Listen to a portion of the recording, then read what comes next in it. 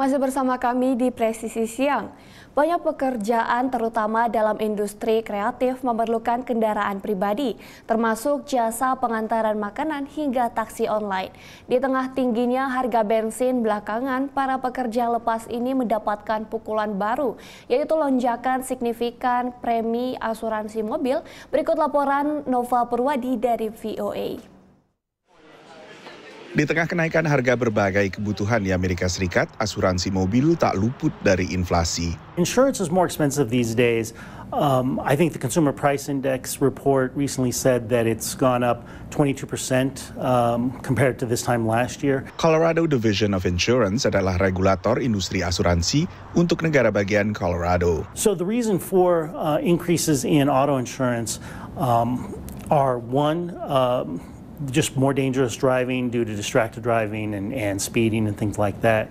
Two, uh, more expensive repairs. Cars are just more expensive repairs. The technology in them, the, the cosmetic things, and also the, the more dangerous driving is leading to, to more damaged cars. Um, three, more expensive cars in general. New cars and used cars are more expensive these days.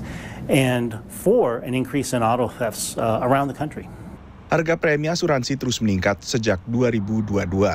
A car is a necessity to get to work, to get your kids to school and daycare, to get your to your doctor's appointments, your, your other healthcare appointments. To do anything, you need a car, and so that's going to impact people everyday people just on, on the things they need to do uh, in their lives. Then think about the impact to people that actually use their car for their jobs, delivery or ride share, anything like that that's that's another uh, a huge increase in in their costs that they have to to run their business. Ahmed misalnya adalah seorang pemandu wisata di kota Denver. Yeah, it's uh, it's very hard to find the cheapest uh, commercial insurance. It's not only uh, me, as other people that they're trying to start a small business, uh, especially in transportation. Uh, been paying average between uh, $200 a month to $400 for coverage a month. I have to uh, work more or uh, you know hustle more to be able to to uh, afford that. Semua berawal saat pandemi COVID, terutama gangguan rantai pasok.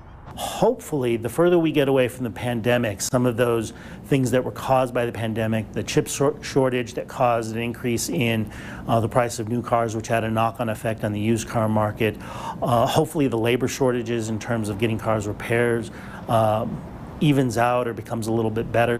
Menurut Edmunds.com, salah satu sumber online yang menjadi acuan bagi industri otomotif, harga rata-rata mobil di Amerika Serikat telah melemah dibandingkan puncaknya pada akhir 2022. Meski demikian, tetap saja harga keperluan-keperluan seperti asuransi mobil ini terus membebani konsumen, apalagi mereka yang menggantungkan kendaraan pribadi untuk mata pencarian mereka. Dari Washington DC, saya Nova Purwadi dan tim VOA. Informasi tadi sekaligus menutup jumpa kita di Presisi Siang hari ini. Saksikan terus tayangan Polri TV melalui website tvradiopolri.co.id dan YouTube TV Radio Polri serta channel siaran terestrial 34 UHF. Saya Bribda Joy terima kasih atas perhatian Anda. Selamat siang dan salam presisi.